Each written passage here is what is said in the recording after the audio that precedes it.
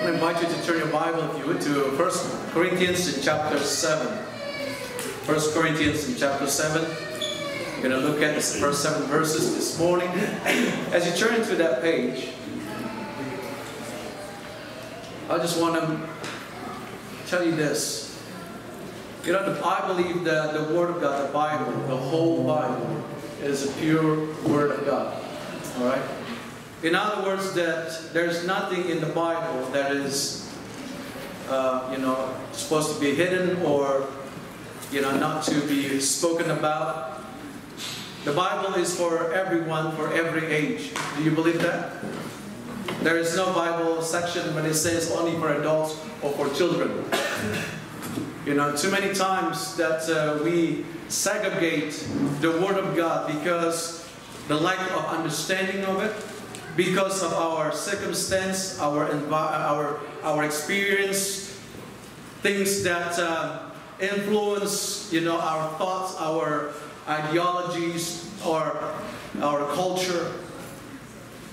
You know, since the beginning, when I came to know the Lord Jesus Christ over almost 23 years ago, the Word of God, every time I open, there is always something in there that always, always, if you want to use the word, the term today, offend me or even to, you know, cut me. If you look at the book of Acts, when Peter spoke the Word of God, the Bible says the men, the heart of the men were cut. There are many times, even when the apostles preaching, the Bible says the man, the heart of the people were cut. The word cut in there means they were heavily convicted. But then because the Spirit of God in there and the hearts were humble, the Bible says, the crowd says, What shall I do, men, brethren? What shall I do? And then Peter says, Repent and believe in the name of the Lord Jesus Christ. Amen. Repent and believe. I remember when I was young, when I was really young, of course, I grew up in church, and um, there was one book that was forbidden for me to read in the Bible. And that book was the Songs of Solomon. you laugh about it because you know where I'm going with this. Because it's very graphic in that book, of course. And if you're a young age, of course, you don't understand that. I remember I asked one in Adela, I can't remember it was my parents or somebody in the church, but I remember I asked it because I read it. Be honest with you, after I read it, I was like, what in the world is this? And then I, um, I asked this adult person in the church, and it says, "Oh, don't worry about it right now. Read it later when when uh, when you get into that age." Am I thinking like, what age is that? and you know the truth. I'll be honest with you. I've never, I've never before studied or understand the book of Songs of Solomon. I've never really took time or anybody to teach me the book, the book of Solomon's until, get this now, until on my third year at Bible college. On the third year on the Bible college, it was all over four years. On the third year of Bible college, I started to, uh, someone came up in the chapel. We have chapels every Thursday. And this man spoke on the book of Song of Solomon's, and I'm like, wow. I've never heard somebody preach from the book of Song of Solomon. And not just one or two verses, but the whole book he summarized the whole book in that one uh, hour chapel that we had, the one hour preaching that we had in there. And man, I tell you, it was very impactful. But then I couldn't understand the whole thing because in an hour it's hard to understand all of that. So then I took time to study that book of Song of Solomon. And always keep in mind that every letters, every book in the Bible, the focus is always upon Jesus Christ. From the Old Testament to the New Testament. All books in the Bibles, the center of the message always about Christ, Jesus Christ. As I read the book of Song Solomon and Christ at the center of it, I seen a picture as what the speaker was preaching in there. It says a picture of Christ and his bride, the church the intimacy between Christ and the church and the church with Christ, how it should be. Not in the physical imagination, but in the sense of the intimate, they said, you know, that what expressed in the book of that Song of Solomon's. Really deep. Through the years, church, I'm just going to be honest, this out before you. Through the years of ministry that I, started out back in year 2000 in the church, I've seen many, many, many Christians who got hurt, whose testimony had been damaged, that they had become, in a way, useless to God in the ministry. And the area of this, what we've been talking about since last week, about in the area of sexual immorality. And usually in churches, people build after things happen. They usually handle this as, oh, now this has happened. Let's let's talk about this. I imagine if that was my daughter. If, if I neglect to tell them the whole truth of the Word of God and everything that it says in that, and then something happened to her because she has no knowledge of it, but she found the knowledge from somewhere else or from the wrong places, I be judged by God, not being a good steward to the one that God's given to me to teach them the truth.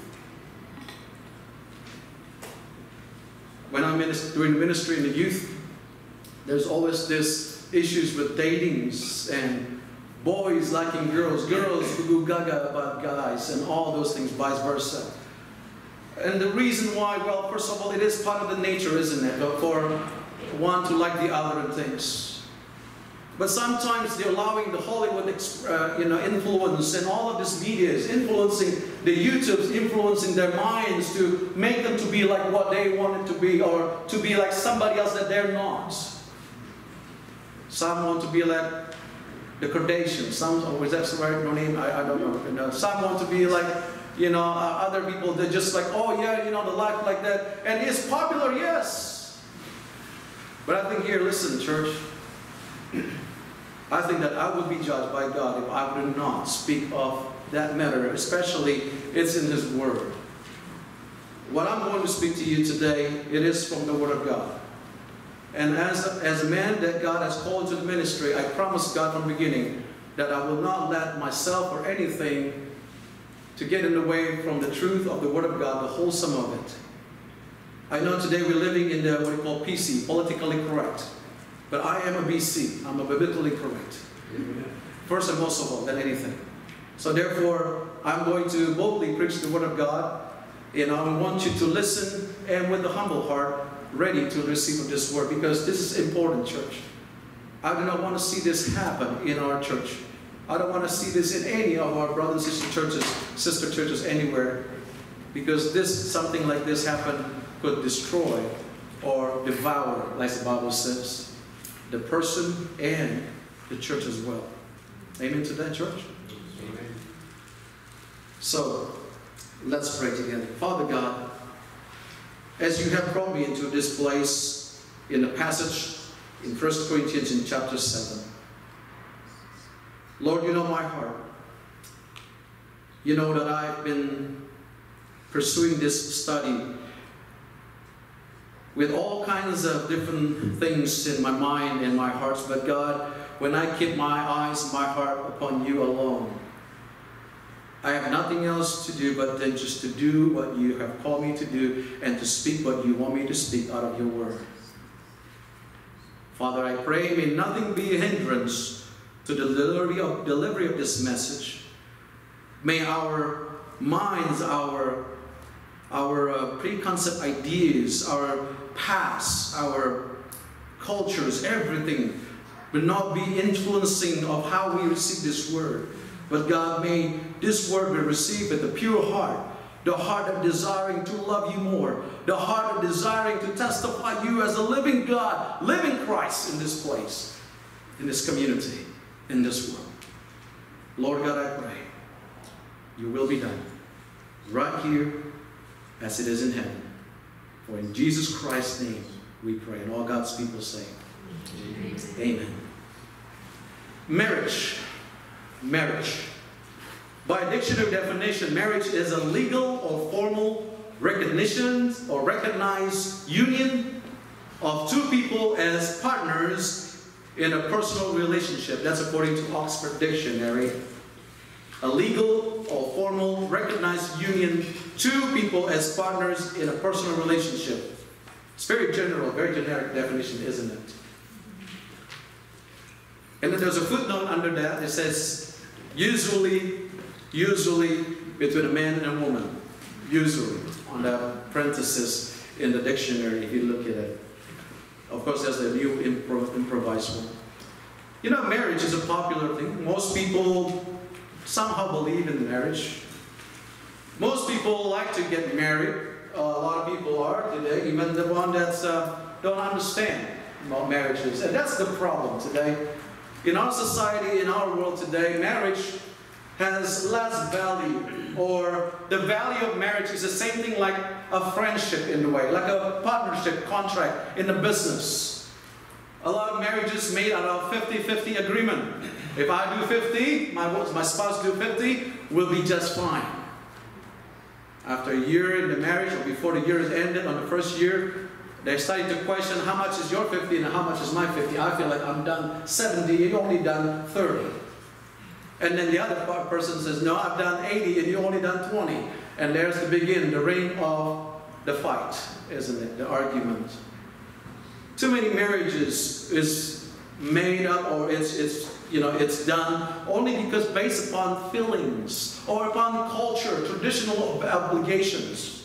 Because pressure in the community or the society that something has to be taking place. You know, especially the, the popular thing that if you are a lady, you're, you're in your 40s and you're not married, it's like, you know, there's something wrong with you. Have you heard that before? You know, they say, can statement like, well, you're already 35. Oh, you, your time is clicking, your clock is clicking. You know, and then so you'll be like, oh yeah, okay, yeah, yeah. Uh, any man here who can give me babies or can make me a wife, you know? Man, and we, we laugh about it because we're living in an advanced society. But I tell you this, you don't have to go far away to find people like this. In this chapter 7, Paul exposed everything about from marriage, from celibacy, you know, being single, what is that, and all of that. And both, the Bible says, Paul says, by God's divine revelation, that both are gifts from God. Either you're married or you're single, both are gifts from God. Speaking of Paul, he was a man that never married. Or some even convinced that maybe he was a widow, that his wife died. We don't know about it. We'll find out when we get to heaven. We'll talk to Paul about it. But the truth is here, Paul, as, as far as we know in the scripture, he's, he's alone. He's, he's a, one single man. We talk about in our class, at BTC class, about church history, and we look at the book of Acts of Paul's journey. You know, three missionary trips, actually four of them, even after he was being uh, released from the Roman, uh, uh, you know, prison. He still went around and preached the gospel. And then in the time of Nero, of course, at the end of his journey, he was beheaded for the sake of Christ. He, was, he accomplished so much in a short time for the glory of God. Why? Because God gave him a gift of being single. It's a gift. And marriage is also a gift. We'll look at that a little bit later tomorrow, uh, next week. But today I want you to look at this, something that is a struggle in the church of Corinth. And then there's a struggle in many churches. I was looking at surveys. I always like, like surveys because I like just to know something. And uh, in, in, in, one of the surveys, a Christian survey actually, they said that in many evangelical churches, there are many divorces. Many divorces in the evangelical churches. and you know, I think that you can testify. You've been to some churches perhaps that have couples that have been divorced or separated, split, whatever the term is. You heard about that, haven't you? And unfortunately, unfortunately, it happened in churches. So guess what? If it happened in churches, then what the world sees up there, they were like, you know what? Your marriage is not better than I do than mine. Your marriage is going down the drain, and you go to church. I don't have to go to church. I'm smarter than you. Why? Because then I don't have to waste my time going to church because my life is just like yours and yours is like mine. There's something about marriage. Do you know that marriage is the first, the very first institution that God made? God created. That the very first institution, before there was government, before there were kings, before there were anything else, God created marriage. God gave marriage. And marriage, if you study the Word of God, is the very foundations of the glory of God that He wants to reveal in the world and through. Through marriage. We cannot take marriage lightly, church. In the scripture, we look at many passages where God said the two shall become one flesh.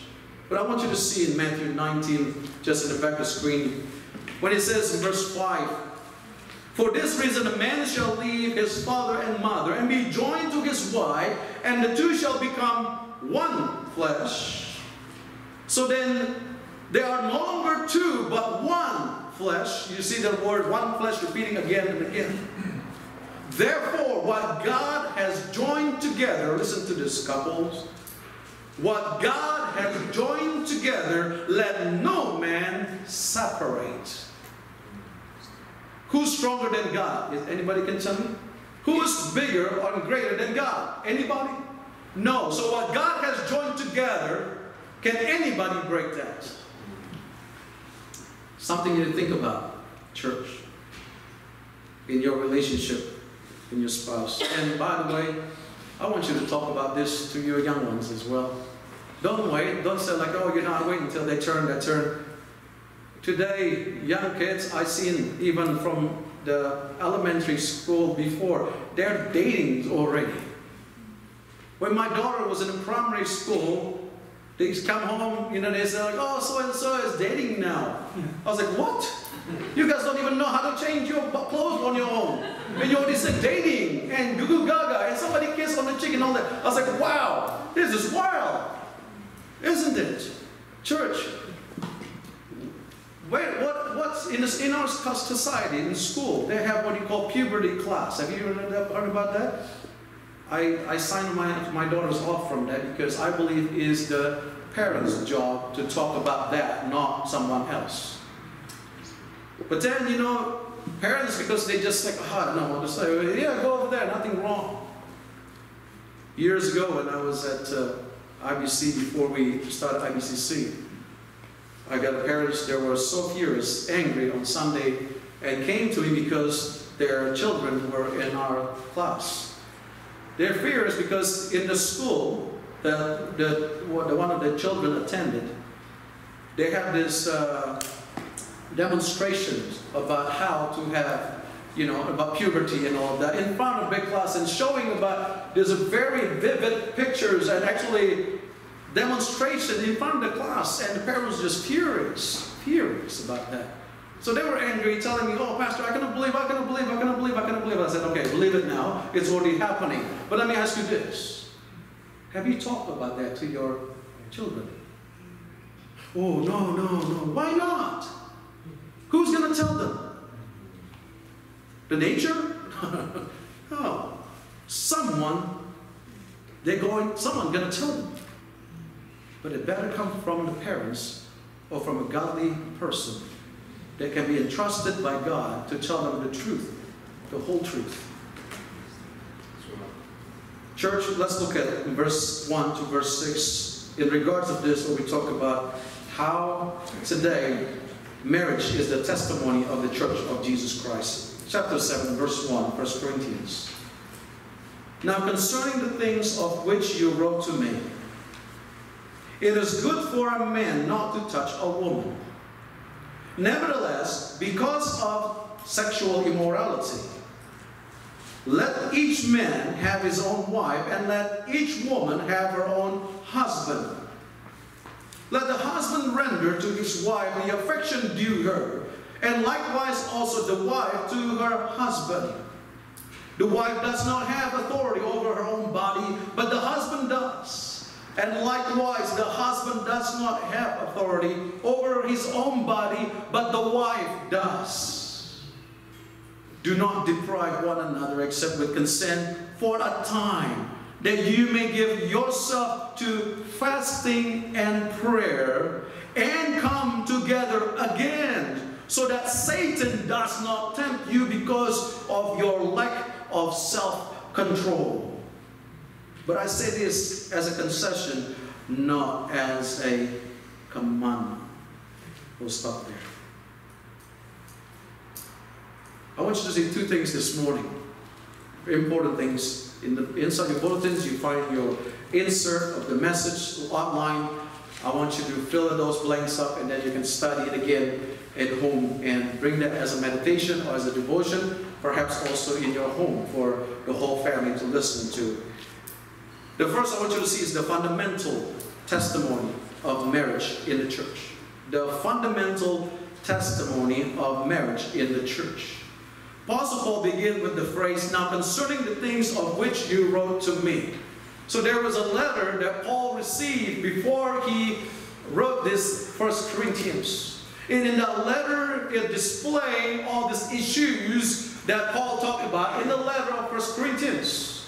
And now it comes down to this. Why did he say that, now concerning the things which you wrote to me? Why do you have to remind the audience of this very thing? Because what Paul's talking about here, this is not some kind of make-believe in his mind. It's not something that he imagining that will take place, but it is happening in the church. And Paul says, now, I want to talk to you about what someone already told you. And the big possibility that man named Sosthenes, who was the one that mentioned in chapter 1, a member of the one of the leaders in that church wrote to Paul, says, here's the problem, here's the issues. And then, Paul, the next part of that verse 1, look at it, say, it is good for a man not to touch a woman. So many people stop the verse right there and they make a conclusion. They're saying like, see, it's not good for man, any man to touch any woman. There was a group of people that call uh, that to make themselves to be, you know, to be uh, the group of this uh, like a monk, if you know what I mean. They not to touch the opposite sex whatsoever. They just stay so-called pure.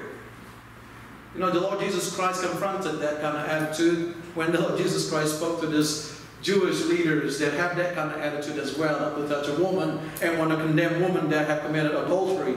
And then the Lord Jesus Christ said to them, if you look upon a woman and desire in your heart, you have already committed adultery. Wow. Can you imagine those religious people that are trying to not their way within their mind? The Lord Jesus Christ knew their mind. Yeah, you don't touch a woman, but you already look upon it, that's already done. So then here it is. One thing I want you to look at, first it say it is good for a man. The word good in there is, is, is not really uh, um, justifiable, I guess. But the word uh, good in, English, in the original text of the Bible, it could also it means wise or honorable. So in other words, it is wise or it is honorable for a man not to touch a woman. Now, the, when, I, when I studied this, I was trying to look at the word touch. What does that touching mean? Like, is that touching like touch, like high five? Is that like that? Or is that touching like kiss on the cheek, or is it like, you know, the foot, like that, how you doing, you know? Is that that kind of thing to touch? But then I discovered that actually the phrase touch a woman is repeated many times in the Bible. To touch a woman. The, the phrase sometimes in English used, the, like for example, she's not with him or not being with him. Or you know, with Mary and Joseph, remember? There were, she was not with the man or no, knew the man, knows the man until the Lord Jesus Christ was born. That's the same connotation, the same phrase or the same understanding. To touch a woman here means is to is a euphemism in the Jewish culture for let me say this one time only sexual intercourse or for physical intimacy.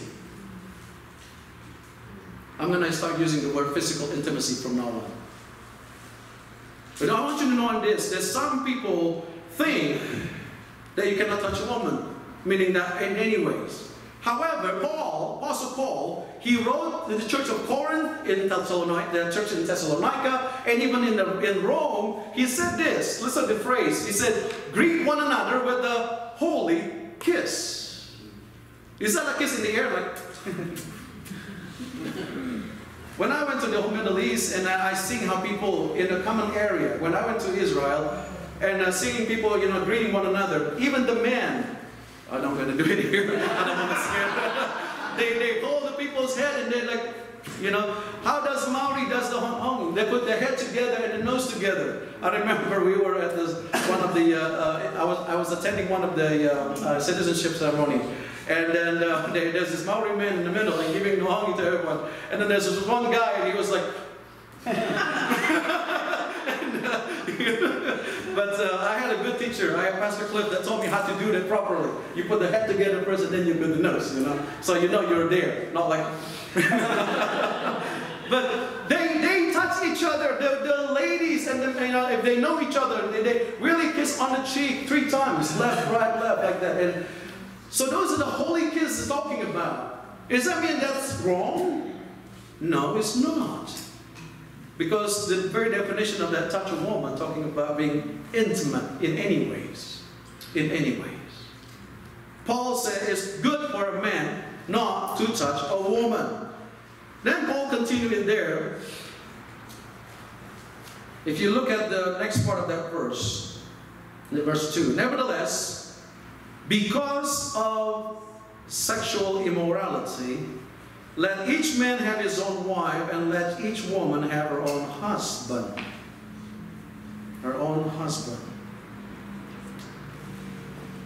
Some misinterpret this. Again, many people misinterpret it, making this as an excuse to say that if a man or woman have some kind of desire in their heart or have committed some kind of sexual immorality, according to this verse, it says that you better have your own wife or get married. That's not what it says in here. Too many cultures think that marriage is the solution to sexual misconduct between a man and a woman. They think that marriage will resolve the issue and will cover multitude of sins. The, the very foundation of marriage actually is God and His love. That's the very foundation of marriage, God and His love. If the foundation of any, of any marriage is based upon anything else besides God and His love, then that marriage is already doomed for failure. What Apostle Paul stressed in this verse was that physical intimacy only toward for is the man and his wife, whom God have united together. Then Apostle Paul, by God's divine revelation, he exposed to the church how godly marriage should be like. And right here, in this next two verses, verse 3 and 4, I want you to see two things really quickly. First thing I want you to see, first is the faithfulness. Verse 3 talks about faithfulness. Let, him, let the husband, it says, let the husband render to his wife the affection due her, and likewise also the wife to her husband.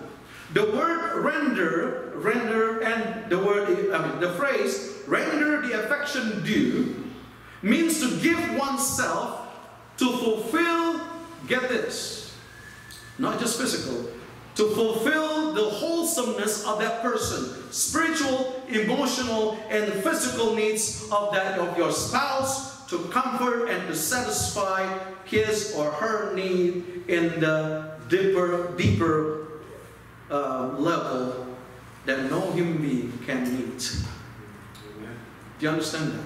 I know it's too long of a definition, but it means to give oneself to, to fulfill the spiritual, emotional, and physical needs of your spouse to comfort and to satisfy his or her needs in a deeper level that no human being, other human being can give.